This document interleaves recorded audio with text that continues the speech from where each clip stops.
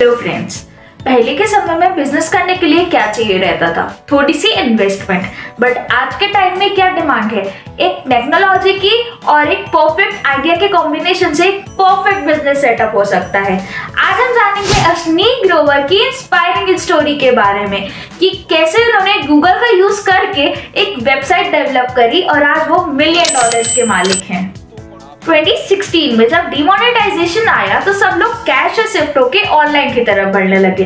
But problem पता है किसके लिए बढ़ी? शॉपकीपर्स के लिए। उन्हें कितने ज़्यादा क्यूआर कोड के स्कैनर्स रखने पड़े? कभी फ़ोन पे के कभी गूगल पे के तो कभी भीम पे के। सभी शॉपकीपर्स के लिए क्यूआर स्कैनर रखना बहुत ही डिफ़िकल्ट हो रहा था। तभी सारे ग्राहक चले जाते थे दूसरी शॉप्स पे।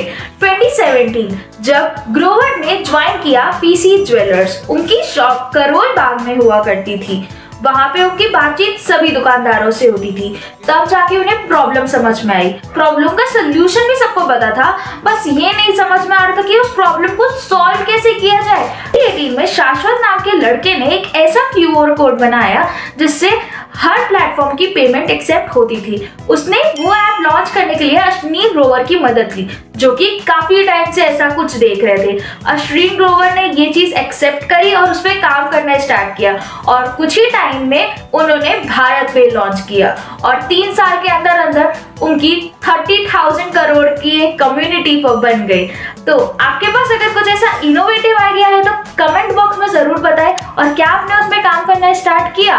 अगर आपको ये उनकी इंस्पायरिंग स्टोरी जरा सी भी इंस्पायर करी हो तो वीडियो को लाइक करें और कंटेंट को शेयर करें।